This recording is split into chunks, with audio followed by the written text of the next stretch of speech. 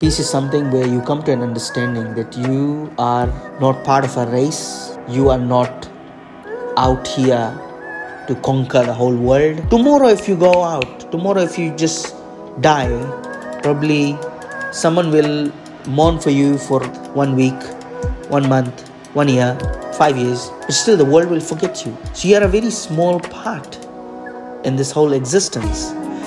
When you keep telling yourself you will not contradict with all the things that's happening around you. Yes, you have the ability to influence the things that's around you to your benefit, to your family's benefit, to your you can influence that. But the thing is that if you are full of your own ego, that it should happen this way, it should go my way.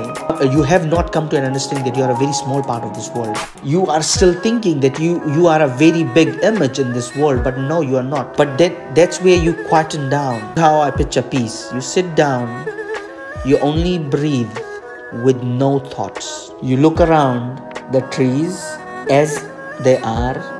You look at the house, the cars, the people as they are. You don't have any judgment. There's no thoughts passing through your head. You can you can feel yourself breathing. You can you can hear yourself thinking if there's any thoughts in your mind. And uh, you are allowing the thoughts to come or not to come. You are in control. I call that peace.